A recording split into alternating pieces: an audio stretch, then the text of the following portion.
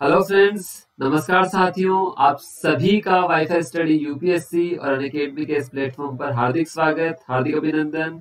मैं हूँ Abhishek Kumar Jain faculty for UPSC civil services examination so current affair का ये एडिशन जहाँ पर हम डेली सीखते हैं किस तरह से जितनी भी दुनिया भर के अंदर जो भी घटनाएँ घटती है, चाहे नेशनल इवेंट हो, चाहे इंटरनेशनल इवेंट हो, चाहे पर्टिकुलर किसी स्टेट से रिलेटेड हो उसको किस तरह से अपने प्रिलिम्स में मेंस में और बेसिकली अपने इंटरव्यू तक यूटिलाइज कर सकते हैं, उसका होलिस्टिक विश्लेषण यहाँ पर मिलेगा। इस एडिशन के अंदर आपको पूरा का पूरा कवरेज चाहे पीआईबी का हो, चाहे पीआरएस का हो, चाहे जितनी भी आपकी ऑफिशियल वेबसाइट्स हो, उसके अलावा दो महत्वपूर्ण न्यूज़पेपर द हिंदू और द इंडियन एक्सप्रेस का कवरेज भी यहाँ पर आपको मिलेगा। तो फटाफट से अपने साथियों को शेयर कर दीजिए ताकि मैक्सिमम लोग इस सेशन का बेनिफिट यहाँ पर उठा सके।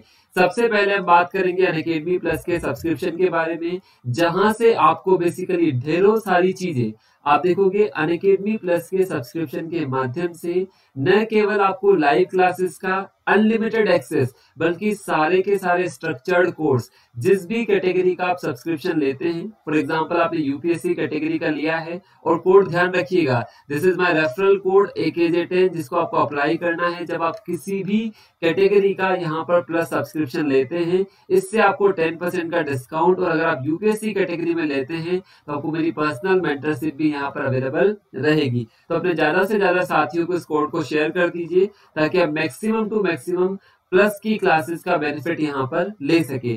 साथ में बेसिकली आपको टेस्ट सीरीज़ मिलेगी डाउट सेशंस आपको देखने को मिलेंगे, और साथ में आपके प्रॉपर फॉर्मेट में आपको नोट्स भी यहाँ पर प्रोवाइड करवाए जाएँगे पीडीएफ फॉर्मेट में आपको नोट्स मिलेंगे, साथ में सही मार्गदर्शन समय समय पर किस प्रकार से आप अपने एग्ज़ाम के अंदर टॉपर बन सकते हैं, इसका पूरा गाइडेंस आपको यहाँ पर मिलता रहेगा। तो सब लोगों को शेयर कर दीजिए और ध्यान रखना, ये रिकॉर्डेड क्लास आज की इसीलिए आपको अवेलेबल करवा रहा हूँ, ताकि जो हमारा करंट अफेयर्स का ये एडिशन है अनइंटरप्टेड चलता रहे, इसमें किसी भी प्रकार का कोई विघ्न ना आए, ठीक है? तो चलिए आपको अनकेबी प्लस के सब्सक्रिप्शन के लिए करना क्या होगा? बहुत सिंपल चीज़ है।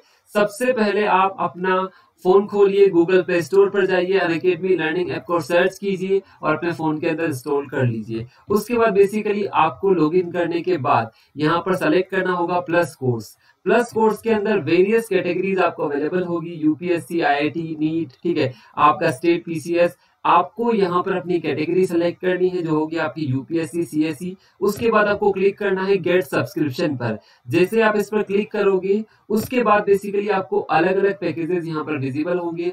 One month three month six month twelve month and twenty four month और नीचे लिखा हुआ मिलेगा हैव रेफरल कोड जहाँ पर आपको पुट करना है, मेरा रेफरल कोड ए के जे टेन जैसे आप इसको अप्लाई करोगे, वैसे ही जितने भी आपको यहाँ पर प्राइसेस विजिबल होगी, उन सब पर टेन परसेंट डिस्काउंट आपको विजिबल यहाँ पर हो जाएगा. न्यू प्राइसेस आप यहाँ पर देख सकते हो. This is for twelve month this is for twenty four month ये आपके लिए बेस्ट सुटेबल ऑप्शन देखने को मिलेगा। तो ज़्यादा से ज़्यादा अपने फ्रेंड्स को शेयर कर दीजिए ताकि मैक्सिमम टू मैक्सिमम लोग अकेडमी प्लस के सब्सक्रिप्शन के माध्यम से अपने सपनों को साकार कर सके। तो आइए लेट्स क्रैक इट तो चलिए स्टार्ट करते हैं आज के एडिशन को लेकर।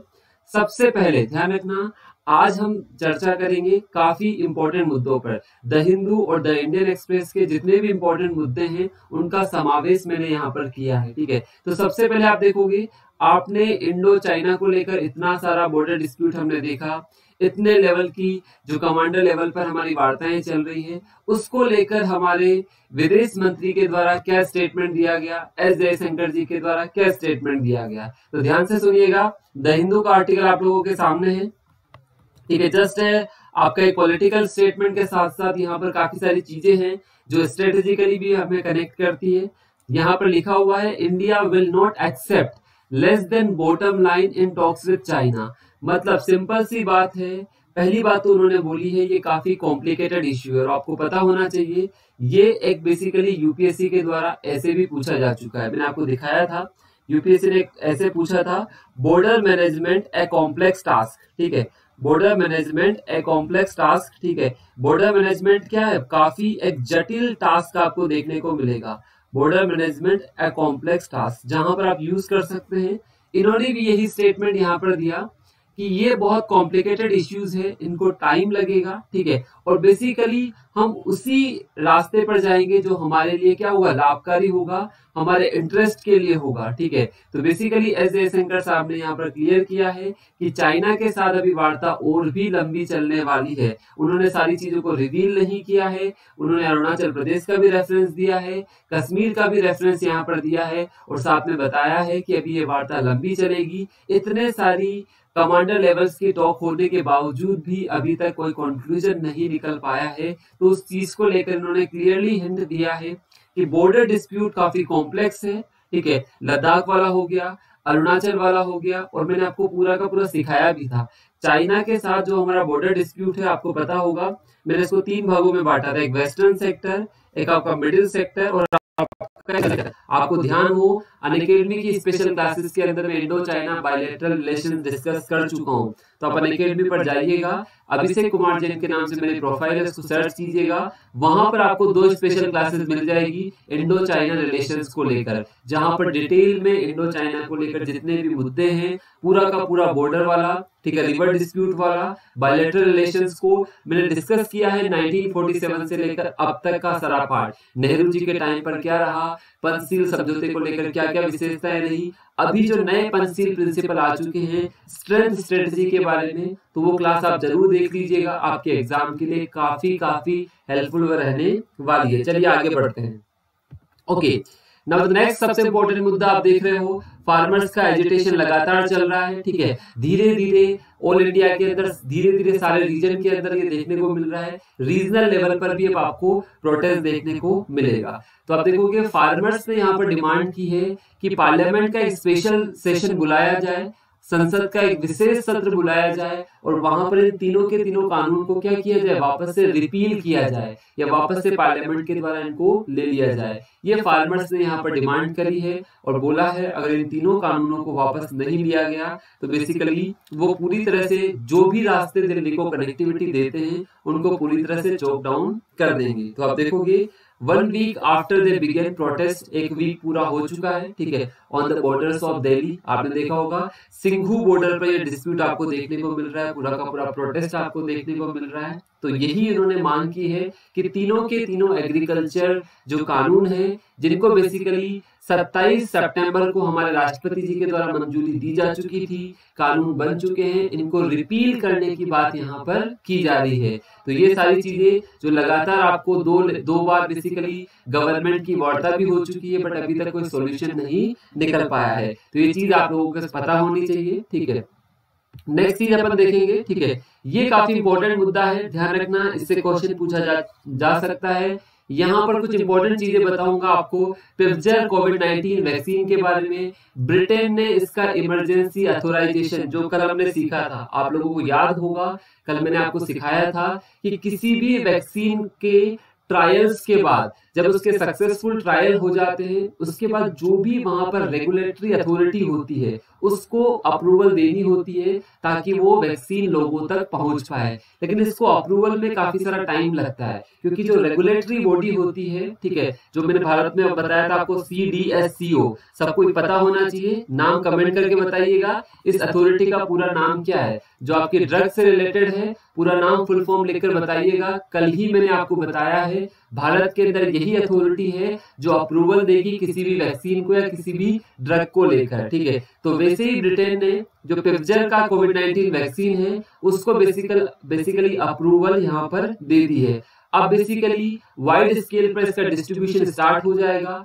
प्राइम मिनिस्टर साहब ने बेसिकली जो वहाँ के प्राइम मिनिस्टर साहब हैं बोरिस जॉनसन उन्होंने भी बेसिकली बोला है कि यूके की जो मेडिसिन अथॉरिटी है उसने बेसिकली इसको अप्रूवल दे दिया है एंड बेसिकली पूरे के पूरे वर्ल्ड के लिए एक नई आशा की किरण ये वैक्सीन यहाँ पर लेकर आएगी। तो आप देखोगे the medicine and health care products regulatory agency ये एजेंसी है जिसने बेसिकली वहाँ पर अप्रूवल दी है granted emergency use approval to Pfizer BioNTech vaccine, ठीक है? जिसकी इफेक्टिविटी को 95 परसेंट यहाँ पर बताया गया था, ठीक है? जस्ट 23 डेज़ हुए हैं पिफ्जर ने अपना जो डेटा पब्लिश किया था फाइनल स्टेज के क्लिनिकल ट्रायल्स का, और जस्ट 23 डेज़ में पिफ्जर की जो वैक्सीन है, उसको इमरजेंसी अप्रूवल दे दिया है यूके की जो medicine and health care products regulatory agency के द्वारा। अब ब्रिटेन ने बोला है, काफ़ी जल्दी वैक्सीनेशन यहाँ पर स्टार्ट हो जाएगा। सबसे पहले उन लोगों को दिया जाएगा जिनकी रिस्क काफ़ी ज़्यादा हाई है। तो आप देखोगे, लगभग eight lakh doses from Pfizer's manufacturing centre जो बेल्जियम में तैयार हो चुके हैं, उनको डिस्ट्रीब्यूशन का काम काफ़ी जल्द चालू कर दिया जाएगा। तो ध्यान रखना है पिप्जर को कोविड 19 के इमरजेंसी अथोराइजेशन की अप्रूवल यहाँ पर मिल गई है एज ए कोविड 19 वैक्सीन के रूप में। नेक्स्ट वीक से इसका रोल आउट स्टार्ट यहाँ पर हो जाएगा। तो that is most important news आप लोगों को ध्यान में होनी चाहिए। इसके अलावा, आप देखोगे the approval of a shot for use close to year since the novel corona virus emerge in Wuhan China ठीक है? तो आप देखोगे, इसके अलावा इस वैक्सीन के बारे में कुछ इंपॉर्टेंट चीज़ें बताने वाला हूँ। इसके स्टोरेज को लेकर। आप देखोगे, भारत के अंदर इस वैक्सीन को अगर लेकर भी आते हैं, लेकिन इसके स्टोरेज को लेकर काफ़ी बड़ी दिक्कत है। स्टोरेज को लेकर जो इसका टेम्परेचर आपको देखने को मिलेगा माइनस सेवेंटी डिग्री सेल्सियस के आसपास। माइनस की बात कर रहा हूँ, ठीक है? उसके अलावा पाँच दिन से ज़्यादा इस वैक्सीन को यूज़ नहीं किया जा सकता। तो भारत में तो इसके इम्प्लीमेंटेशन को लेकर काफ़ी ज़्यादा दिक्कतें हैं। तो भारत के लिए तो वैक्सीन संभव वाली बात नहीं है। तो आप देखोगे यहाँ पर यहाँ पर जो मैंने सारी चीज़ें बताई, आपको ध्यान रखना है, कौन सी अथॉरिटी ने अप्रूवल दिया है वैक्सीन का नाम क्या है, और ब्रिटेन ने बेसिकली ये अप्रूवल वहाँ पर मिल चुका है। तो ध्यान रखिएगा दैट इज़ मोस्ट इंपॉर्टेंट उसके बाद यूके से लेकर ही एक और इम्पोर्टेंट न्यूज़ आपसे पूछा जाएगा कि भारत ने रिपब्लिक डे आने वाला है 26 जनवरी आने वाली है तो भारत ने किसे 26 जनवरी के चीफ गेस्ट के रूप में इन्विटेशन भेजा है? तो वो है यूके के प्राइम मिनिस्टर बोरिस जॉनसन साहब। तो आप देखोगे UK prime minister Boris Johnson invited chief guest for Republic Day आपसे क्वेश्चन में पूछा जा सकता है, ठीक है? अब बेसिकली लंदन को इसका जवाब देना है, भारत ने इनविटेशन भेज दिया है। इंडिया ने इनवाइट किया है यूके के प्राइम मिनिस्टर बोरिस जॉनसन साहब को। चीफ गेस्ट के रूप में रिपब्लिक डे सेलिब्रेशन जो जनवरी 2021 में होगा, ठीक है? तो बेसिकली ये आप देखोगे काफ़ी इंपॉर्टेंट होगा भारत और बेसिकली यूके के रिलेशंस को लेकर। और invitation was extended last Friday during the telephonic conversation यहाँ पर बातचीत हुई थी हमारे प्रधानमंत्री जी और बेसिकली यूके के प्राइम मिनिस्टर के मन थे। और आप देखोगे अभी तक ब्रिटिश हाई कमीशन से कोई कंफर्मेशन नहीं मिली है बट इंडिया की तरफ़ से इन्विटेशन जा चुका है। काफ़ी जल्दी इस पर रिप्लाई भारत को मिल जाएगा। आप देखो it has been learn that before this invitation, discussion were underway for visit by Mr. Johnson for the Raisina dialogue. आप लोगों ने इस डायलॉग का नाम सुना होगा राइसिना डायलॉग ठीक है राइसिना डायलॉग काफ़ी इंपॉर्टेंट है और राइसिना डायलॉग का नाम कहाँ पर किसकी वजह से आया है जो दिल्ली के अंदर हमारी जो पार्लियामेंट की बिल्डिंग बनी हुई है या पूरा का पूरा स्ट्रक्चर आपको देखने को मिलेगा वो कहाँ पर बनी हुई है रायसीना की पहाड़ियों पर उसी से इस डायलॉग का नाम आया था रायसीना डायलॉग जो भारत के सिक्योरिटी परस्पेक्टिव से स्ट्रेटेजिक परस्पेक्टिव से काफ़ी इंपॉर्टेंट है। न्यू दिल्ली में यह संपन्न होता है तो आपको पता होना चाहिए रायसीना डायलॉग के बारे में। रायसीना की पहाड़ियों से डायलॉग का नाम क्या रखा गया? रायसीना डायलॉग और ये रायसीना की हिल्स कहाँ पर है? जहाँ पर आज आप संसद की बिल्डिंग देखते हो, ठीक है? राष्ट्रपति भवन देखते हो, वो पूरा का पूरा रायसीना हिल्स पर ही बना हुआ है। वहाँ पर पहले रायसीना की पहाड़ियाँ हुआ करती थी, ठीक है? तो ध्यान रखिएगा that is most important thing उसके अलावा आप देखोगे, कुछ और इंपॉर्टेंट चीज़ें आपको देखने को मिलेगी, भारत और यूके की पार्टनरशिप को लेकर। क्योंकि आप देखो, किसी भी कंट्री को एक स्पेशल स्टेटस है। जब आप पर्टिकुलर किसी ओकेजन पर आप उन्हें एक मुख्य अतिथि के रूप में इनवाइट करते हो तो that is most important cooperation between two countries तो आप देखोगे डिफेंस को लेकर हुआ, ठीक है। हमारी साइबर को लेकर हुआ, ठीक है। हमारी ट्रेड डील को लेकर हुआ। काफ़ी सारे इंपॉर्टेंट इंस्टेंसेज है और बेसिकली अभी और इम्पोर्टेंस बढ़ जाती है क्योंकि जब ब्रिटेन बेसिकली यूके से बाहर हो चुका है ब्रेग्जिट हो चुका है, उसके बाद बेसिकली भारत को ईयू और ब्रिटेन दोनों को अलग अलग पलड़ों से देखना होगा क्योंकि अब ट्रेड रिलेशन भारत को बेसिकली दोनों के साथ अलग अलग होंगे यू के साथ अलग होंगे ब्रिटेन के साथ अलग होंगे और बेसिकली काफ़ी सारे एग्रीमेंट भी यहाँ पर देखने को मिलेंगे, ठीक है? तो उसको लेकर यहाँ पर एक डिटेल बताया गया है, ठीक है? कि बेसिकली क्या क्या चीज़ें यहाँ पर देखने को मिल सकती है, ठीक है? तो ये एक अच्छा साइन है भारत और यूके के द्विपक्षीय या बायोलेटरल रिलेशंस को लेकर। तो आपको जनरली पता होना चाहिए कि बोरिस जॉनसन साहब को भारत ने इन्वाइट किया है रिपब्लिक डे के चीफ गेस्ट के रूप में ओके उसके बाद, यहाँ पर जो भी और भी जो डेवलपमेंट होने हैं, उस पर अपन डिस्कस करेंगे डेफिनेटली एक और इम्पोर्टेंट चीज़ आप देखोगे, अभी बेसिकली भोपाल गैस त्रासदी का आप लोगों ने नाम सुना होगा 1984 में जो बेसिकली फैक्ट्री थी वहाँ से गैस रिलीज़ हुई थी 1984 के अंदर भोपाल के अंदर जो कार्बाइड फैक्ट्री थी वहाँ से गैस रिलीज़ हुई थी जिसका नाम था मिथाइल आइसोसाइनाइड ठीक है मिथाइल आइसोसाइनाइड जो गैस थी जो बेसिकली काफ़ी बड़ा वहाँ पर उसने ब्लास्टर किया था। तो अब देखो Bhopal gas disaster survivors take part in a protest near the Union Carbide factory in the city और 36वीं एनिवर्सरी हो गई क्योंकि 1984 से 2020 आ चुका है। उस घटना को हुए 36 साल बीत चुके हैं। तो जितने भी बेसिकली सर्वाइवर्स थे उन्होंने यहाँ पर ऐसे प्रोटेस्ट किया भोपाल की जो यूनियन कार्बाइड फैक्ट्री थी जिसको बंद कर दिया गया था तो 36 साल हो चुके हैं भोपाल गैस त्रासदी को, जहाँ पर मिथाइल आइसोसाइनाइड गैस रिलीज़ हुई थी, और इस पर आपने देखा होगा, एक मूवी भी आई थी। मूवी का नाम तो मुझे ध्यान नहीं है, बट हाँ एक मूवी आई थी, ठीक है, हो गए उसको दो या तीन साल पहले एक मूवी आई थी, जिसमें बेसिकली इस पूरी की पूरी घटना को वापस से डिपेक्ट किया गया था, ठीक है। तो यही बात यहाँ पर की जा रही है कॉल फॉर जस्टिस को लेकर। ओके एंड आपने एक स्लोगन सुना होगा, ठीक है, जब हमारा स्वतंत्रता संग्राम की बात करते हैं। आठ अगस्त उन्नीस सौ बयालीस को भारत छोड़ो आंदोलन शुरू हुआ था, ठीक है? तब दिल्ली चलो का स्लोगन आपने देखा होगा। वापस से फार्मर्स ने स्लोगन को वापस से रिट्रेट किया है और पंजाब फार्मर्स बेसिकली यहाँ पर स्लोगन यूज़ कर रहे हैं दिल्ली चलो। ठीक है, आप देखोगे थाउज़ेंड फार्मर्स या लाखों की संख्या में फार्मर्स किसकी तरफ़ कूच कर रहे हैं? नेशनल कैपिटल दिल्ली की तरफ़ कूच कर रहे हैं। उनको बीच में रोका भी जा रहा है। तो वापस से दिल्ली चलो का स्लोगन जो बेसिकली भारत छोड़ो आंदोलन में पॉपुलर हुआ था, वापस से धीरे धीरे अपना मोमेंटम पकड़ रहा है। तो आप देखोगे, काफ़ी मात्रा में वुमन प्रोटेस्टर्स भी आपको दिखाई देंगे। दिल्ली की जो सिंगलू बॉर्डर है, पंजाब, हरियाणा के आसपास का रीजन है तो woman protesters seen at farmer agitation on the Singhu border of New Delhi on Wednesday तो ये जो सारा का सारा प्रोटेस्ट है, ठीक है, अब देखते हैं किस तरह ये मोड लेता है। तो आपको ये सारी चीज़ें मैं बता रहा हूँ ताकि आप यूज़ कर सकते हो, ठीक है, अपने आंसर्स के अंदर, ठीक है ओके आगे।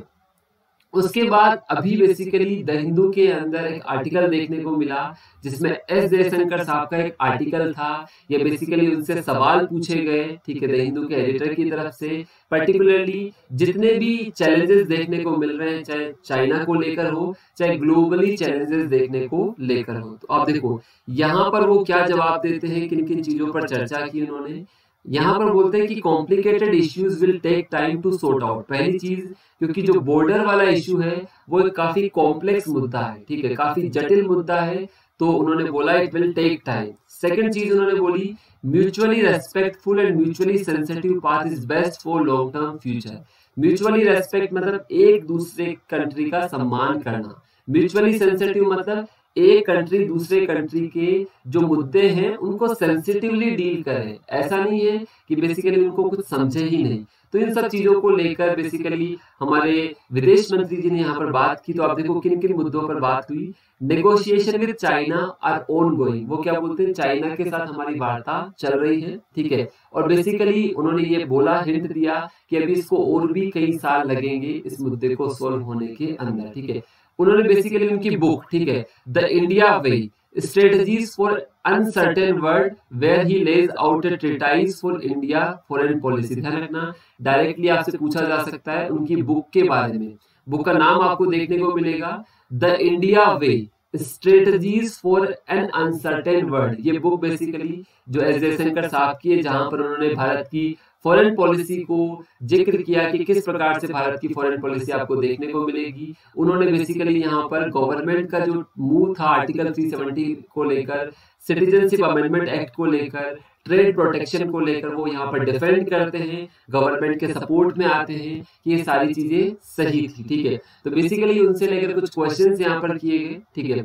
In your book you speak managing China's rise तो आपको ध्यान रखना है उनकी बुक का नाम याद रखना है। ठीक है डायरेक्टली पूछा जा सकता है the India way the India way strategy for an uncertain world strategies for uncertain world यहाँ पर लिखा हुआ है, आप यहाँ पर देख सकते हो strategies for an uncertain world ठीक है strategies for an uncertain world ठीक है तो ये बुक का नाम आप ध्यान रखिएगा। इस बुक के कुछ अंशों के बारे में द हिंदू के एडिटर के द्वारा उनसे बात की गई, जो उन्होंने वहाँ पर मेंशन किया, किस तरह से गवर्नमेंट को उन्होंने आर्टिकल 370 सिटीजनशिप अमेंडमेंट एक्ट वाला मुद्दा ट्रेड प्रोटेक्शन वाले मुद्दे पर वो गवर्नमेंट को डिफेंड करते हैं या गवर्नमेंट के बचाव में आते हैं, ठीक है? तो ये भी चीज़ आपको यहाँ पर देखने को मिलेगी, ठीक है? गेटिंग माई पॉइंट ठीक है। आज आप लोगों के कमेंट नहीं ले पा रहा हूँ, ठीक है? क्योंकि बेसिकली फार्मर एजुकेशन की वजह से थोड़ा सा इंटरनेट में दिक्कत आ रही है। ब्रॉडबैंड वर्क कर रहा है बट स्पीड इतनी प्रॉपर नहीं है. दैट्स वाई बेसिकली आज हमें इस चैनल का यूज़ करना पड़ रहा है बट डेफिनेटली आपको ध्यान से सारा डिस्कशन सुनना है काफ़ी सारी चीज़ें आपको सीखने को यहाँ पर मिलेगी ही मिलेगी। ओके आगे बढ़ते हैं ठीक है? तो इसी डिस्कशन को उन्होंने अलग अलग पार्ट में बांटा है। काफ़ी सारे क्वेश्चन यहाँ पर डिस्कस किए गए उनसे ठीक है? तो एक बार आप जस्ट रीड कर लीजिएगा ठीक है? तो ये जस्ट उनके बुक के बारे में ठीक है? बुक में उन्होंने जो जो लिखा जो जो चीज़ों को डिस्क्राइब किया उनके बारे में उनसे यहाँ पर हिंट लिया जा रहा है कि किस चीज़ की तरफ़ वो इशारा कर रहे थे। ओके उसके बाद आप देखोगे Biden sets new demands for return to nuclear deal ठीक है? मैंने आपको बोला था, ईरान की जो पार्लियामेंट ने बेसिकली एक हिस्टोरिक स्टेप वहाँ पर लिया था कि बेसिकली वो यूएन सैंक्शंस को, या बेसिकली यूनाइटेड नेशन का जो इंस्पेक्शन वाला पार्ट है, उसको रूल्ड आउट करके वापस से यूरेनियम के माध्यम से अपनी जो पूरा का पूरा न्यूक्लियर जनरेशन है, उसको स्टार्ट करेंगी। तो अब देखो यहाँ पर यूएसए के जो आने वाले राष्ट्रपति है, जो बाइडन साहब है, उन्होंने क्या बोला है? ठीक है तो यहाँ पर वो बोलते हैं US president elect Joe Biden will insist Iran agrees to new demands if it wants the US to return to a nuclear deal and lift sanctions. उन्होंने क्लियरली बोला है कि अगर ईरान चाहता है कि यूएसए ईरान पर लगे प्रतिबंधों को हटा ले और वापस से यूएसए न्यूक्लियर डील का पार्ट बन जाए तो बेसिकली यहाँ पर ईरान को जो कुछ शर्तें होगी, जो कुछ डिमांड होगी जो यूएसए के द्वारा की जाएगी, उनको यहाँ पर फुलफिल करना होगा। तो यहाँ पर क्या बोला है? He wants to extend the duration of restriction on country तो सिंपल सी चीज़ है। बाइडन साहब ने कुछ नई डिमांड रखी है। उसके बाद ही यूएसए वापस 2015 में जो बराक ओबामा के द्वारा JCPOA joint comprehensive plan of action के माध्यम से जो डील की गई थी उस पर वापस आएगा। तो आप देखोगे Biden administration would seek to extend the duration of restrictions on Iran production of fissile material that can be used to make nuclear bomb ध्यान रखना यहाँ पर बेसिकली यहाँ पर बाइडन एडमिनिस्ट्रेशन ने क्लियर किया है कि जो ईरान पर रेस्ट्रिक्शंस लगाई गई थी, उसके फिसाइल मटेरियल को लेकर, जिसके माध्यम से वो न्यूक्लियर बम तैयार करता है, वो अभी और भी पाबंदियाँ लंबी चलेगी जब तक फाइनली डिस्कशन नहीं होता है। तो Iran would also have to address malign region activities ध्यान रखना, यहाँ पर यहाँ पर जो बाइडेन एडमिनिस्ट्रेशन के साथ में बोला जा रहा है उन्होंने बोला है कि बेसिकली ईरान जो अपनी प्रॉक्सी मतलब बेसिकली वो सारी कंट्रीज़ या बेसिकली वो सारे ग्रुप जो ईरान का सपोर्ट करते हैं उनके माध्यम से जो बेसिकली लेबनान के अंदर इराक के अंदर सीरिया के अंदर यमन के अंदर जो भी सारी चीज़ें चल रही है उस पर भी वो डिस्कशन करेंगे एंड फाइनली इस चीज़ को यहाँ पर कंसिडरेशन में लाया जाएगा। तो ध्यान रखना कि बाइडन साहब ने जो कल मैंने आपको पढ़ाया था, उसको लेकर बाइडन साहब ने क्या रिप्लाई किया है? बाइडेन साहब ने बोला है कि ईरान को अगर अपने सेंक्शन हटवाने हैं और यूएसए के साथ न्यूक्लियर डील के पर वापस आना है तो बेसिकली जो यूएसए की डिमांड्स है न्यू डिमांड्स है, उनको मानना पड़ेगा, तभी जाकर यूएसए वापस न्यूक्लियर डील को साइन करेगा या बेसिकली सारे के सारे जो प्रतिबंध लगे हुए ईरान पर, वो हटा दिए जाएँगे। तो ये भी छोटी सी चीज़ आपको यहाँ पर ध्यान में रखनी ही रखनी है। चलिए आगे बढ़ते हैं। ठीक है यहाँ पर आप और भी काफ़ी सारी चीज़ें देखोगे जो मैंने आपको रेफरेंस दिया था, उस रेफरेंस का नाम आप यहाँ पर देख सकते हो। 2015 की न्यूक्लियर डील जिसको नाम से बोला जाता है joint comprehensive plan of action और जेसीपीओ है। गेव ईरान रिलीफ जिसने बेसिकली ईरान पर लगे प्रतिबंध हटा लिए थे ठीक है? उसके बदले में ईरान ने अपनी सारे के सारे न्यूक्लियर प्रोग्राम क्या कर लिए थे? बंद कर लिए थे ठीक है। तो बेसिकली मिस्टर बाइडन ने वोन किया है ईरान को कि अगर वो बॉम्ब अक्वायर करता है ठीक है या बेसिकली वापस से न्यूक्लियर रेस को बढ़ावा देता है वेस्ट एशिया के अंदर। तो बेसिकली यूएस से फिर ईरान की हेल्प नहीं कर पाएगा ध्यान रखना। अभी बेसिकली हमें एक ऐसा वर्ड चाहिए जहाँ पर धीरे धीरे न्यूक्लियर को अपन क्या करें एलिमिनेट करें देन एक न्यूक्लियर को बढ़ावा दे। तो बेसिकली यहाँ पर यूएसए के प्रेसिडेंट साहब ने क्लियरली चेतावनी यहाँ पर ईरान को दे दी है कि बेसिकली अभी उसको न्यूक्लियर रेस बढ़ाने पर काम नहीं करना है, ठीक है? तो ध्यान रखिएगा इन सारी चीज़ों को, यहाँ से आप लोगों के लिए क्वेश्चंस यहाँ पर क्लियरली बन सकते हैं। ओके चलिए आगे बढ़ते हैं। उसके बाद एक और इम्पोर्टेंट न्यूज़ आपको दिखाऊँगा। कि बेसिकली ये न्यूज़ आपको द हिंदू के अंदर आपको देखने को मिलेगी। ये न्यूज़ है आपके द हिंदू की। ठीक है जहाँ पर आपको देखने को मिलेगा कि बेसिकली चाइना ने पहली बार भारत के राइस का मतलब काफ़ी सारे डिकेट्स निकल गए ठीक है। China buys first Indian rice in decades amid scarce supply क्योंकि बेसिकली अभी सप्लाई की कमी है ठीक है। तो आप देखोगे China has begun importing Indian rice for the first time in at least three decades मतलब आप सोचो कि कम से कम तीस साल हो चुके हैं, चाइना पहली बार भारत के चावल को आयात कर रहा है। क्यों है? उसका रीजन है क्योंकि थाईलैंड, म्यांमार और वियतनाम से आने वाले चावल पर अभी काफ़ी सारी पाबंदियाँ लगी हुई है। सप्लाई काफ़ी शॉर्ट हो चुकी है। दैट्स वाई बेसिकली चाइना पिछले तीस सालों से उसने बेसिकली भारत से कोई चावल नहीं खरीदा। वो दुआई देता है कि भारत के चावल का स्टैंडर्ड एडिक्वेट नहीं है। तो आप देखोगे China has begun importing Indian rice for the first time in at least three decade पिछले तीस सालों में पहली बार चाइना ने भारत के चावल का आयात किया है, उसका रीजन है क्योंकि बेसिकली जो चावल पहले चाइना थाईलैंड से म्यांमार से वियतनाम से लेता था, उस पर काफ़ी सारी सप्लाई को लेकर रेस्ट्रिक्शंस लगी हुई है, ठीक है? दैट्स वाई बेसिकली और दूसरा है कि बेसिकली भारत ने एक ऑफ़र भी चाइना को दिया था डिस्काउंट प्राइस का, ठीक है? ऐसा बेसिकली इंडियन इंडस्ट्री ऑफिशियल्स ने यहाँ पर बोला है, साथ में। भारत, आप देखोगे राइस का बिगेस्ट राइस एक्सपोर्टर है। दुनिया का भारत सबसे बड़ा चावल निर्यातक है और चाइना दुनिया का सबसे बड़ा चावल आयातक है। ध्यान रखना, India is the world's biggest rice exporter and China is the biggest rice importer. China rice का आयात करता है और भारत सबसे ज़्यादा राइस का निर्यात करता है। आप देखोगे बीजिंग लगभग चार मिलियन टन, ठीक है, फोर मिलियन टन हर साल चावल का आयात करता है। लेकिन वो बेसिकली अवॉइड करता है भारत से चावल लेना। उसके पीछे वो क्या रीजन देता है? क्वालिटी इश्यू कि भारत के चावल की गुणवत्ता उतनी अच्छी नहीं है। तो आप देखोगे राइस का इंपोर्ट डिस्पाइट पॉलिटिकल टेंशन और बॉर्डर डिस्प्यूट आप देख सकते हो, ठीक है। ये बेसिकली आप देखोगे कि ये एक दूसरा पॉजिटिव डेवलपमेंट है कि चाइना भारत से राइस को आयात कर रहा है। उसके पीछे बहुत सारे रीजन मैंने आपको बताए हैं। बट हाँ इट्स गुड फॉर इंडिया उसके अलावा आप देखोगे भारत लगातार जो चाइनीज़ मोबाइल ऐप को बैन कर रहा है लगातार बेसिकली हमारा इंपोर्ट वहाँ से रिड्यूस कर रहा है। भारत तो एंटी चाइना मोड में है और उस समय चाइना का भारत से लेना ठीक है ये एक मजबूरी हो सकती है। बहुत सारी चीज़ें आपको देखने को यहाँ पर मिलेगी।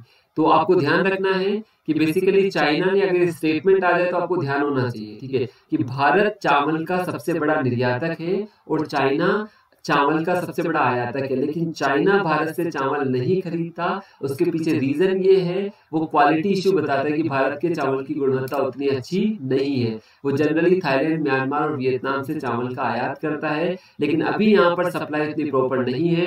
काफ़ी सारे रेस्ट्रिक्शन लगे हुए हैं। कोविड नाइन्टीन काफ़ी बड़ा रीजन है। उसकी वजह से चाइना यहाँ से चावल खरीद रहा है। ठीक है? तो ये आपको यहाँ पर पता होना चाहिए। ओके। तो ये थोड़ी सी न्यूज़ थी जो मैंने आपको यहाँ पर समझाई, ठीक है? समझ आ रहा है सब लोगों को सारी चीज़ें? ठीक है? आज थोड़ी सी एलोबरेटिव फैक्चुअल न्यूज़ आपको नहीं मिलेगी थोड़ी सी आपको एप्लीकेशन वाइज न्यूज़ मिलेगी तो उनको भी आप साथ साथ में कवर कीजिए ताकि आपको सारी की सारी चीज़ें समझ में आती रहे। ओके उसके बाद जो मैंने आपको बताया था, ठीक है सबसे इंपॉर्टेंट चीज़ जो हमारी पिफ्जर बायोटेक वैक्सीन है, ठीक है, आप देखोगे दिस इज़ द वैक्सीन ठीक है? क्लियर आफ्टर एक साल लगभग कोरोना वायरस का खत्म हो चुका है। आपको पता है दिसंबर के आसपास पहला केस आपको कोरोना वायरस का देखने को मिला था, ठीक है? उसके बाद से लगभग एक साल हो चुका है कोरोना वायरस को और एक साल के बाद बेसिकली वैक्सीन को फाइनली इमरजेंसी अथोराइजेशन के लिए क्लियरेंस मिल चुकी है। एक चीज़ ध्यान रखना, ये जो वैक्सीन है, ये एमआरएनए वाली है, ठीक है? और दूसरी चीज़ है, इसको बेसिकली माइनस सेवेंटी डिग्री पर स्टोर किया जाता है। और भारत के लिए वैक्सीन इतनी कारगर नहीं है, क्योंकि भारत के पास इतनी एडिक्वेट स्टोरेज फैसिलिटी नहीं है कि माइनस सेवेंटी डिग्री पर इसको स्टोर कर सको और उस वैक्सीन का पाँच दिन पाँच दिन तक यूज़ किया जा सकता है। तो बेसिकली भारत के पास वो सारा का सारा इम्प्लीमेंटेशन को लेकर इंफ्रास्ट्रक्चर नहीं है।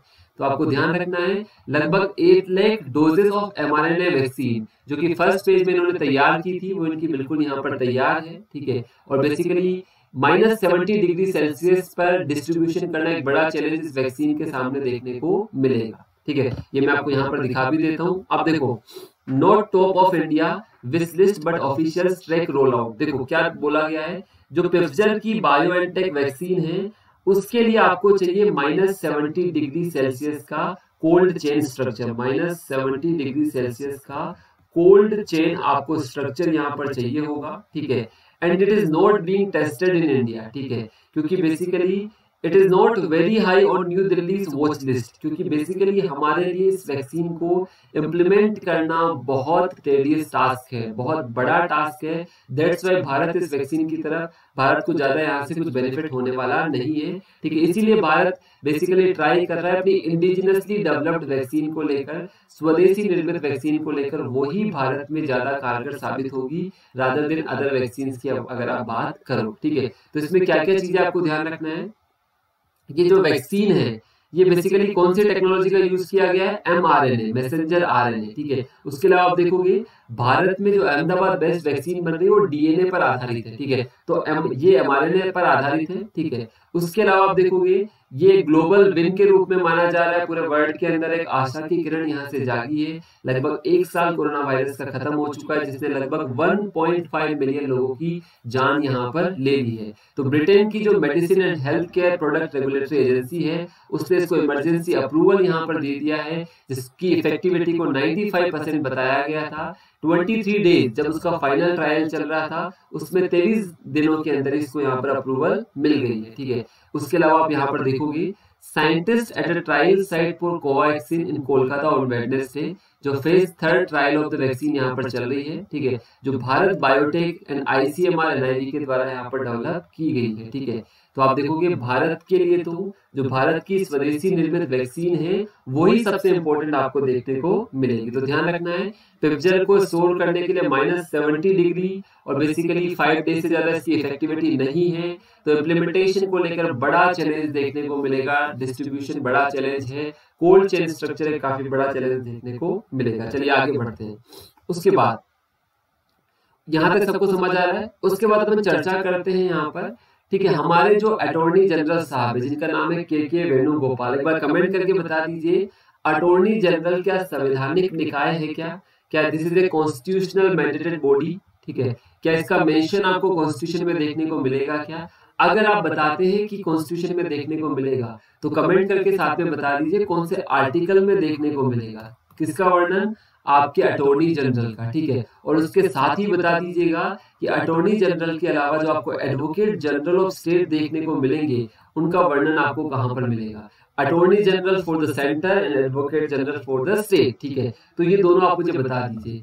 यहाँ पर द इंडियन एक्सप्रेस के अंदर एक आर्टिकल आया जहाँ पर बेसिकली अटॉर्नी जनरल ने सुप्रीम कोर्ट को चीज़ बोली है कि सुप्रीम कोर्ट या जुडिशरी के अंदर आपको वुमन का रिप्रेजेंटेशन बढ़ाना होगा तभी बेसिकली जो जेंडर सेंसिटिव मुद्दे हैं, उनका एक अच्छे से सोल्यूशन यहाँ पर हो पाएगा।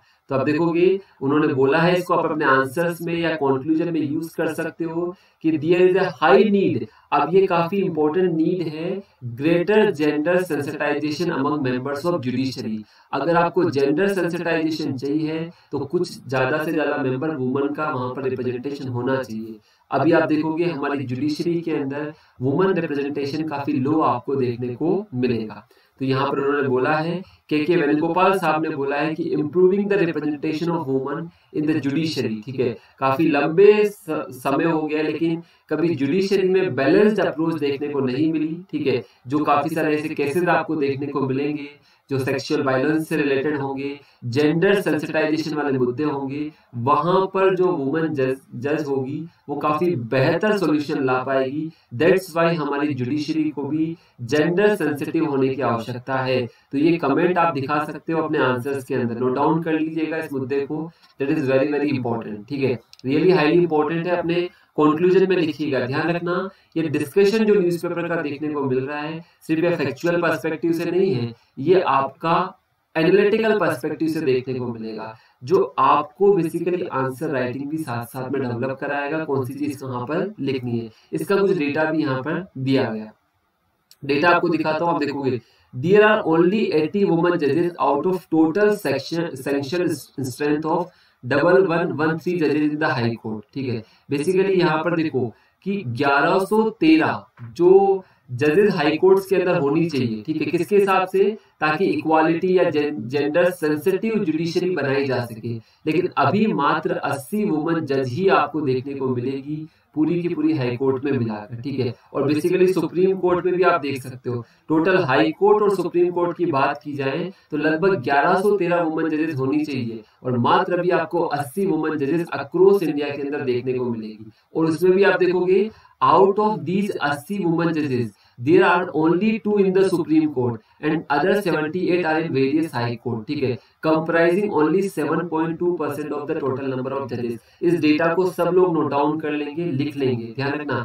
डेटा क्या है? अगर high court plus supreme court दोनों को मिला के बात की जाए तो पूरे भारत में केवल और केवल 80 वुमन ही जज है, ठीक है? दोनों में मिलाकर। और उसमें भी आप देखोगे, केवल ओनली सुप्रीम कोर्ट के अंदर दो वुमन जज है, बाकी 78 कहाँ पर देखने को मिलेगी? हाई कोर्ट के अंदर। जबकि टोटल कितनी होनी चाहिए? लगभग 1113 पोजीशन है, वो basically high court plus supreme court में मिलाकर फॉर वुमन जजेस स्ट्रेंथ के हिसाब से। लेकिन अभी आप देखोगे स्ट्रेंथ है टोटल स्ट्रेंथ की बात कर, हाई कोर्ट और सुप्रीम कोर्ट के अंदर टोटल स्ट्रेंथ 1113 जजेस की है, ठीक है? जिसमें मेल भी है फीमेल भी है। उनमें से सिर्फ़ 80 वुमन जजेस कहाँ इक्वालिटी आप देखो 80 आपका कितने में से? 1113 में से। अगर परसेंटेज आप निकालोगे तो जस्ट 7.2 परसेंट आपको देखने को मिलेगी। ठीक है? समझ आ रहा है?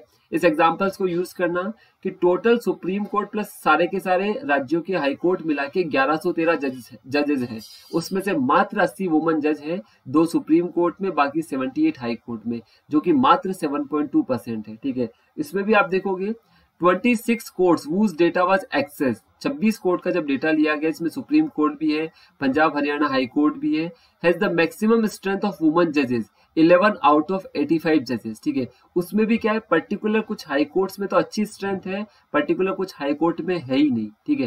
जैसे आप देखोगे, यहाँ पर पंजाब हरियाणा में 11 आउट ऑफ़ 85 बताएगी, मद्रास हाई कोर्ट में 9 आउट ऑफ़ 75 बताएगी, ठीक है? एट वुमन बताई गई आपकी बहुत Delhi and Bombay high court में मिलाकर। तो बेसिकली कहीं में तो फिर भी थोड़ी बेटर है बट कहीं में तो बिल्कुल रिप्रेजेंटेशन ही नहीं है। तो ये सारी चीज़ें मेंशन आपको करनी है अपने आंसर्स के अंदर। तो ये आपका आंसर कितना अच्छा होगा। जहाँ पर आप दिखा रहे हो कि किस प्रकार से जुडिशरी को जेंडर सेंसिटिव बनाया जाए, किस प्रकार से जुडिशरी के अंदर महिला न्यायाधीशों की संख्या को बढ़ाई जाए और डेटा देना और अब रेफरेंस देना के के वेणुगोपाल साहब का जो भारत के अटॉर्नी जनरल है, क्योंकि ये आपकी संवैधानिक निकाय है जो आपको आर्टिकल 76 में देखने को मिलेगा। तो उनका रेफरेंस दीजिएगा और बेसिकली उनकी अप्रोच के बारे में बताइएगा कि किस तरह से, जो स्पेशली आज इतने सारे सेक्सुअल वायलेंस के केस आपको देखने को मिलेंगे, ठीक है?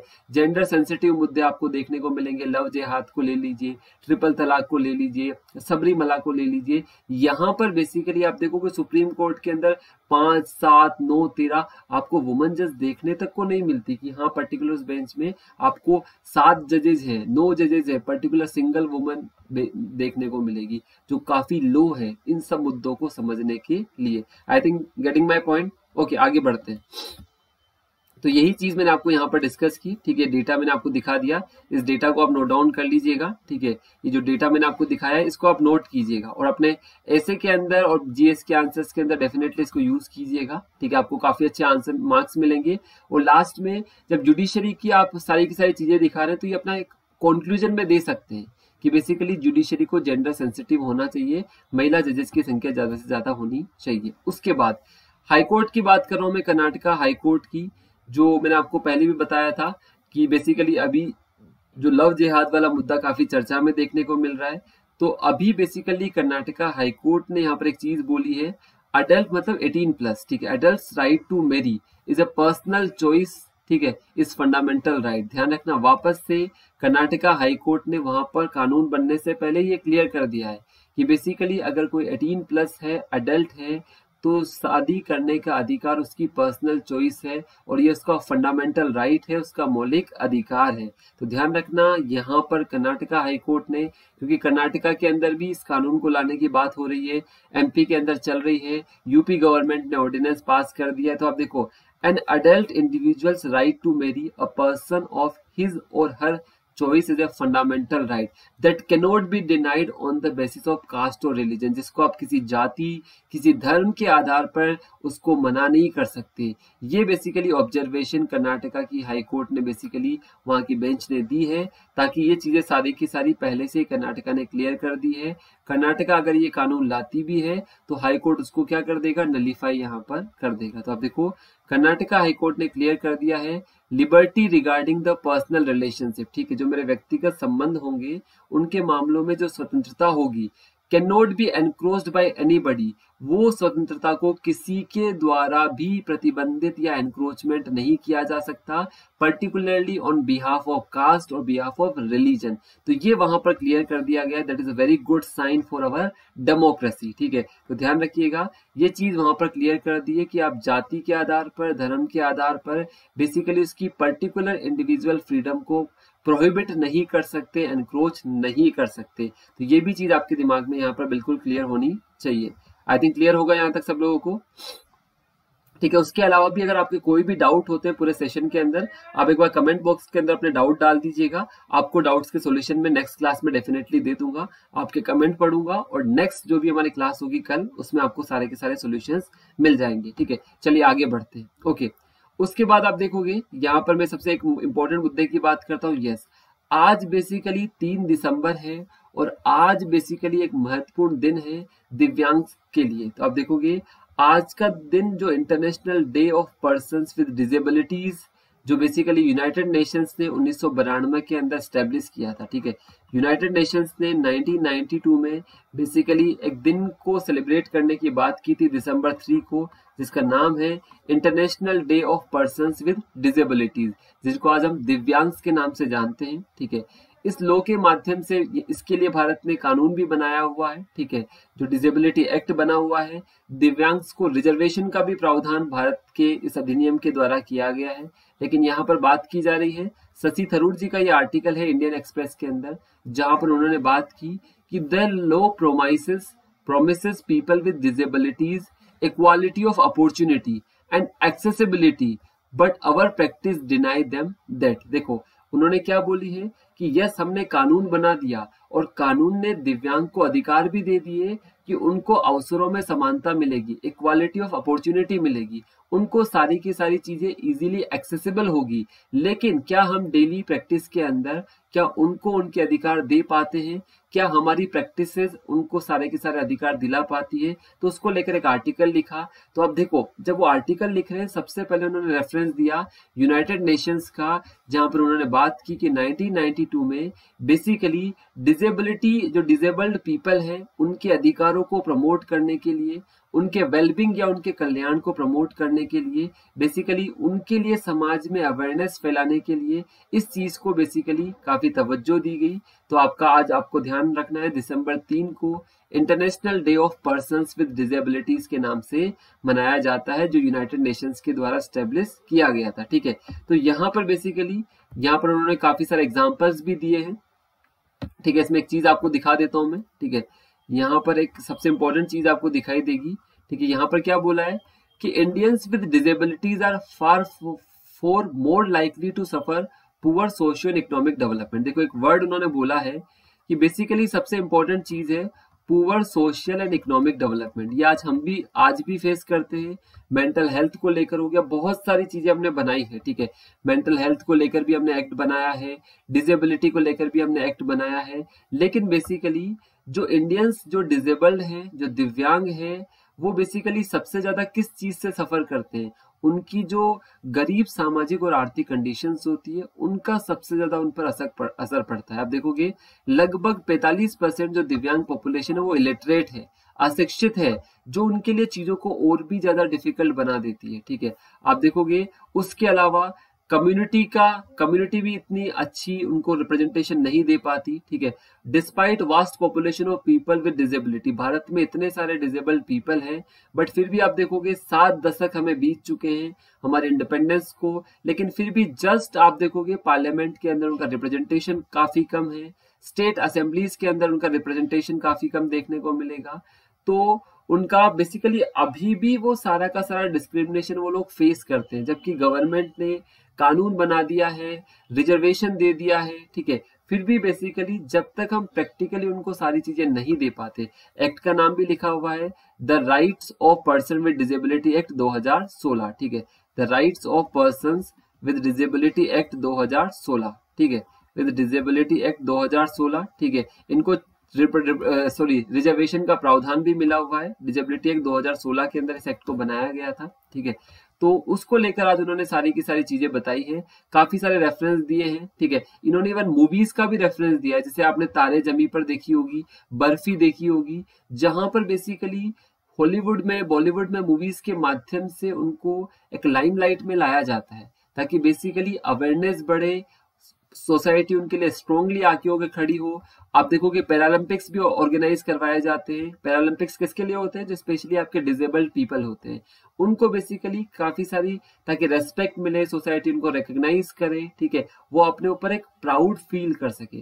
दैट्स वाई ये सारी चीज़ें आप लोगों को देखने को मिलेगी, ठीक है? आई थिंक यहाँ तक समझ आ रहा है सब लोगों को। तो this is about the international day of person with disabilities जिसको लेकर एक आर्टिकल आया था। मेंशन कीजिएगा आप अपने आंसर्स के अंदर। मेंशन कर सकते हैं यूनाइटेड नेशंस का मेंशन कर सकते हैं। Right to person with disability जो एक्ट बना हुआ है 2016 का, ठीक है? डिजेबिलिटी जो एक्ट 2016 का बना हुआ है, इसको आप मेंशन कर सकते हैं। रिजर्वेशन के प्रोविज़न के बारे में मेंशन कर सकते हैं। अपने ऐसे के अंदर मूवीज़ के बारे में मेंशन कर सकते हैं। जैसे तारे जमी पर बर्फ़ी का मेंशन किया गया यहाँ पर। पैरालंपिक्स एक, एक इम्पोर्टेंट इवेंट है जो बेसिकली उनको पूरे वर्ल्ड वाइड रिकॉग्निशन देता है ठीक है? तो इन सारी चीज़ों को आप मेंशन कर सकते हैं सोसाइटी के पर्सपेक्टिव से। ओके उसके बाद बेसिकली अपन बात करते हैं यहाँ पर। यस yes, पहले जो हमारा फार्मर्स वाला बात चल रही है उस पर हम लगातार डिस्कशन कर ही रहे हैं ठीक है? तो उससे पहले एक छोटा सा अपन डिस्कशन कर लेते हैं। अफगान गवर्नमेंट और तालिबान के बीच की जो पीस डील के बारे में मैंने आपको पहले भी बताया था, जिसकी मध्यस्थता की गई थी यूएसए के द्वारा, ठीक है? तालिबान और अफगान गवर्नमेंट के बीच में पीस डील है, जो अफ़गानिस्तान की स्टेबिलिटी के लिए काफ़ी इंपॉर्टेंट है। तो आप देखोगे, Afghan government and Taliban representative ठीक है? अफगान की गवर्नमेंट और तालिबान के रिप्रेजेंटेटिव ने वेडनेसडे को एक स्टेटमेंट जारी किया और बेसिकली उन्होंने बोला कि एक प्रारंभिक डील बेसिकली एक साइन हो चुकी है जो एक पीस टॉक्स के रूप में, एक शांति वार्ता के रूप में आपको देखने को मिलेगी। और बेसिकली ये पहला रिटर्न एग्रीमेंट है 19 सालों के अंदर। तालिबान के बीच में और अफगान गवर्नमेंट के बीच में। और बेसिकली यूनाइटेड स्टेट के द्वारा इसका स्वागत किया गया ताकि बेसिकली इस पूरे रीजन को स्टेबलाइज किया जा सके। तो ध्यान रखना this is a very very important step चाहे भारत के परस्पेक्टिव से हो, क्योंकि अफ़गानिस्तान की स्टेबिलिटी भारत के लिए भी उतना ही मायने रखती है, ठीक है?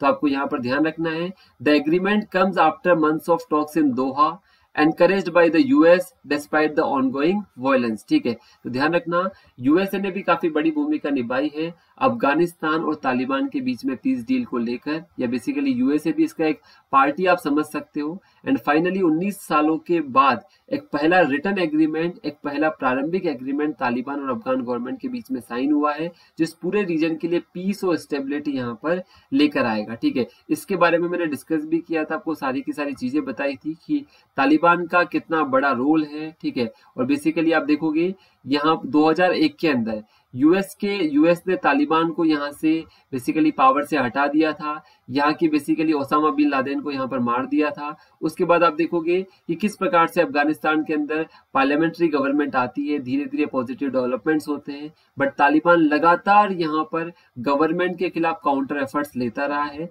फाइनली एक पीस डील साइन होना बहुत इंपॉर्टेंट है इस रीजन के लिए पीस और स्टेबिलिटी को लेकर। तो ये एग्रीमेंट बेसिकली जो दोहा कतर की कैपिटल है, वहाँ पर ये वार्ताएँ स्टार्ट हुई थी। यूएसए ने काफ़ी ज़्यादा इसको एनकरेज किया था, ठीक है? तो ये that is more most important इसके बारे में आपको पता होना चाहिए। आपसे पूछा जाए तो आपको पता होना चाहिए। ध्यान रखना, लिखा हुआ है, पहला रिटर्न पैक्ट है between two parties in 19 years किसके किसके बीच में? अफ़गानिस्तान और तालिबान के बीच में, ठीक है? जो बहुत इंपॉर्टेंट रोल यहाँ पर प्ले करेगा। ओके चलिए आगे बढ़ते हैं।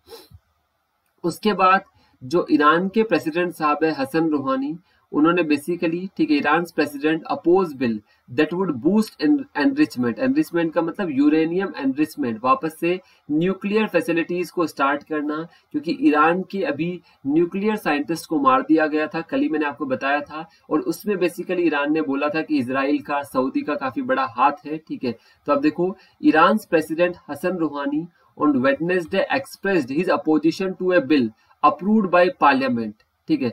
The previous day to suspend UN inspection and boost uranium enrichment जो कल मैंने आपको बताया था कि ईरान की पार्लियामेंट ने एक बिल को अप्रूव किया है, जो बेसिकली बात कर रहा है कि यूनाइटेड नेशन जो इंस्पेक्शन करता है उसको बेसिकली हटा दिया जाएगा और वापस से ईरान यूरेनियम एनरिचमेंट स्टार्ट करेगा। वापस से न्यूक्लियर फैसिलिटीज़ को रिन्यू करना स्टार्ट करेगा। आपको पता है 2015 के उस एग्रीमेंट में ये बात की गई थी, अब ईरान इन सब चीज़ों को नहीं करेगा। लेकिन बेसिकली संसद ने बोला था कि अगर उस पर सेंक्शन नहीं हटते हैं तो बेसिकली वापस से इन सारी चीज़ों को वो स्टार्ट करेगा। तो इसकी निंदा की है वहाँ के प्रेसिडेंट हसन रोहानी साहब ने, ठीक है?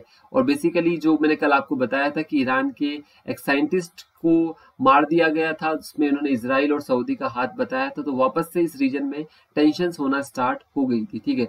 इस बिल में ये वार्ता की गई थी कि जो यूनाइटेड नेशंस का इंस्पेक्शन है, उसको सस्पेंड कर देगा and require the government to resume enrichment uranium to twenty percent ठीक है? अगर यूरोपियन नेशंस फेल होते हैं उसको सैंक्शन लगे रहते हैं तो उसकी पूरी की पूरी ऑयल और बैंकिंग इकोनॉमी पर कल ही मैंने आपको बताया था ईरान ने बोला है कि उसके ऑयल सेक्टर पर लगे प्रतिबंध हटा लिए हटा, हटा लिए जाए और बैंकिंग सेक्टर पर लगे प्रतिबंध हटाए जाने चाहिए ताकि वो पूरे वर्ल्ड के साथ ट्रेड कर सके और अपने आप को वापस से फ्लरिश कर सके। ओके तो ये चीज़ कल भी डिस्कस की थी आज मैंने एक स्टेटमेंट के माध्यम से आप लोगों को ये सारी चीज़ें यहाँ पर बता दी। ओके उसके बाद एक कल का आर्ग्यूमेंट था हमारा जो कल का बचा हुआ था।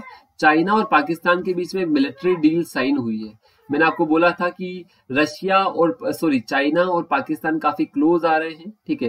तो जो पीपल्स लिबरेशन आर्मी है, ठीक है? PLA general meets Pakistani leaders calls for higher level ties to jointly cope with various risk तो आप देखोगे चाइना और पाकिस्तान ने एक नया मिलिट्री मेमोरेंडम साइन किया है, ठीक है? और बेसिकली जो उनकी क्लोज रिलेशनशिप है, उसको एक और नया आयाम देने की इन्होंने यहाँ पर, आप देखोगे एक नया आयाम दिया है। तो चाइना के defence minister and people's liberation army PLA के जनरल ठीक है? वो बेसिकली इनकी अध्यक्षता में एक मिलिट्री एग्रीमेंट यहाँ पर साइन हुआ, ठीक है? तो बेसिकली ये दिखाता है कि किस प्रकार से, क्योंकि बहुत सारे रीजन आपको देखने को मिलेंगे, जैसे कि सीपेक वाला पार्ट आप देखोगे, ठीक है? पाकिस्तान ऑक्यूपाइड कश्मीर वाला पार्ट देखोगे। आपने पता होना चाहिए कि बल्टिस्तान को एक नई प्रोविंस के रूप में पाकिस्तान डिक्लेयर करना चाह रहा है। उसके अलावा जो काफ़ी सारे बॉर्डर डिस्प्यूट है, चाहे नेपाल को लेकर हो, ठीक है, क्योंकि बेसिकली काला पानी का डिस्प्यूट भी अभी काफ़ी ज़्यादा लाइमलाइट में रहा था। भारत में, भारत के जो बेसिकली आपको पता होना चाहिए, भारत के जो विदेश मंत्रालय के सचिव है, ठीक है, उन्होंने बेसिकली नेपाल भी गए थे ताकि नेपाल के साथ हमारे रिलेशन को हम सुधार सके। तो इन सब चीज़ों का मेंशन यहाँ पर मिल जाएगा। अब देखो सीपेक का मेंशन आपको यहाँ पर देखने को मिलेगा, ठीक है उसके अलावा यहाँ पर आपको नेपाल के कालापानी का डिस्प्यूट का मेंशन मिल जाएगा, ठीक है? चाइना साउथ चाइना सी वगैरह का मेंशन यहाँ पर मिल जाएगा। तो इन सब चीज़ों का मेंशन आपको देखने को मिल जाएगा कि बेसिकली भारत पर क्या इम्पैक्ट हो सकता है China Pakistan military deal sign क्यों करना चाहते हैं क्या क्या उनके एंगल्स है ओके तो ये भी आपको यहाँ पर क्लियरली पता होना चाहिए ओके आगे बढ़ते हैं अपन, ठीक है? लास्ट में हमारा एक और चीज़ बचा हुआ है एससीओ जिसके बारे में हमने चर्चा की थी, संघाई कोऑपरेशन ऑर्गेनाइजेशन तो रीजनल प्रायोरिटीज के नाम से एक आर्टिकल कल द हिंदू के अंदर आया था, जहाँ पर बोला था कि एससीओ किस तरह से भारत के जियो पॉलिटिकल बैलेंस के लिए और रीजनल एंगेजमेंट के लिए काफ़ी काफ़ी महत्वपूर्ण है। उसी चीज़ को लेकर ये आर्टिकल आपको देखने को मिलेगा।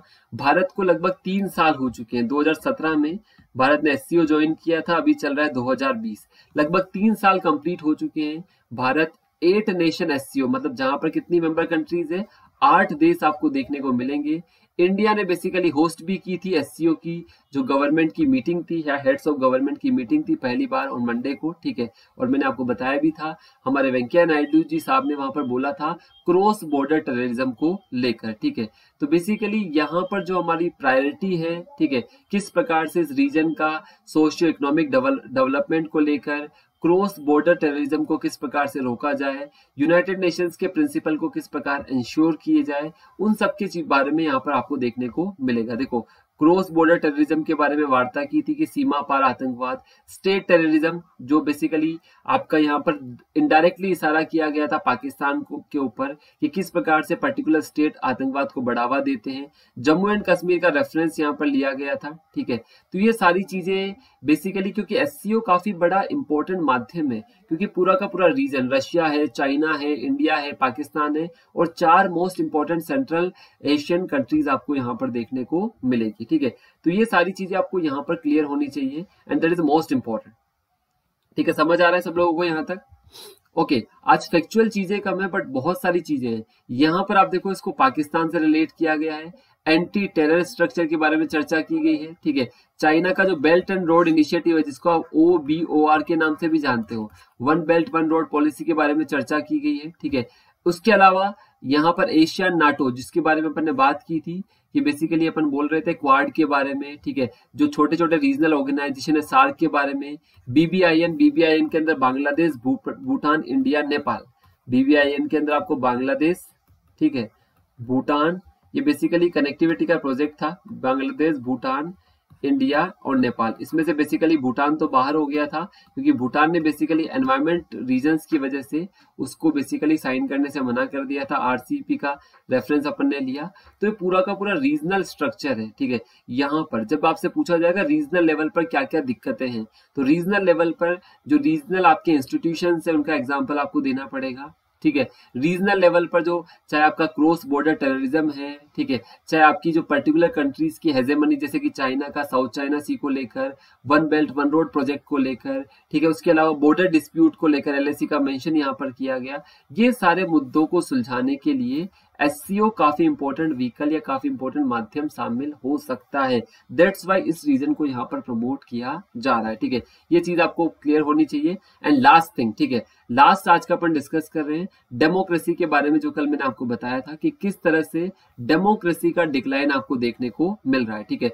ये जो पूरा का पूरा द हिंदू का एनालिसिस है, देखने को मिलेगा कि भारत के अंदर जो डेमोक्रेसी की क्वालिटी है वो लगातार डिक्रीज होती हुई आपको देखने को मिल रही है पिछले दशक से।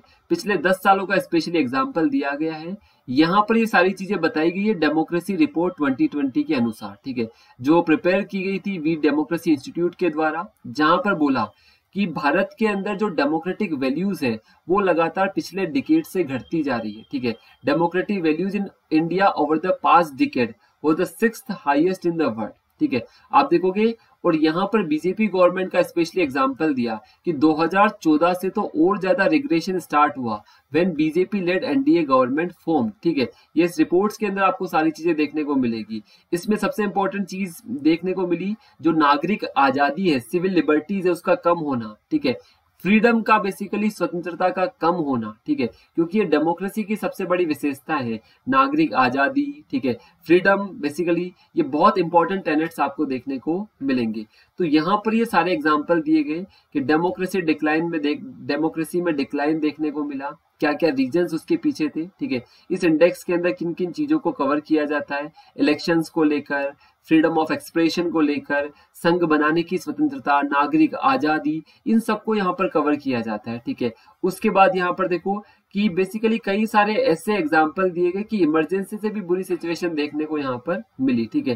जैसे कि एकेडमिक फ्रीडम इंडेक्स के बारे में बात की गई सिविल लिबर्टीज के बारे में बात की गई रूल ऑफ़ लॉ इंडेक्स के बारे में बात की गई तो ये सारे के सारे डेटा तो जब भी आपसे एग्ज़ाम में क्वेश्चन आएगा, जो मैंने आपको बोला भी था कि what are the reasons behind the decline of democracy in India या बेसिकली आप कैसे कह सकते हो कि भारत में लोकतंत्र का पतन हो रहा है? तो सिर्फ़ ये बोलने से काम नहीं चलेगा कि भारत के संस्थानों की स्वतंत्रता छिनती जा रही है। आपको रेफरेंस लेना पड़ेगा कि एज पर डेमोक्रेसी रिपोर्ट 2020 हमारी जो लोकतंत्र रिपोर्ट 2020 के अनुसार, जहाँ पर उन्होंने ज़िक्र किया कि पिछले एक दशक में भारत की जो डेमोक्रेसी की क्वालिटी है, उसमें काफ़ी ज़्यादा डिक्रीज देखने को मिला है, ठीक है? उसमें उन्होंने बताया 2014 से तो और भी ज़्यादा वर्सन सिचुएशन देखने को मिली है। नागरिक आज़ादी का छिन्ना एकेडमिक फ्रीडम का कम होना, ठीक है?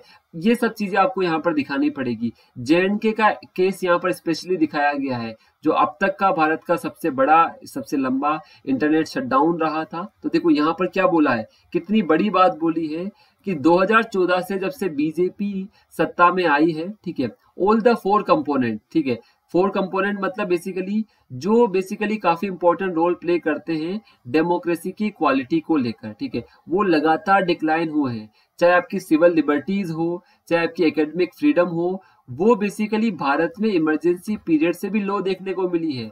मतलब इतना डिक्लाइन तो भारत में जब 1975 से 77 के दशक में इमरजेंसी लगी थी, तब भी नहीं था, उससे ज़्यादा।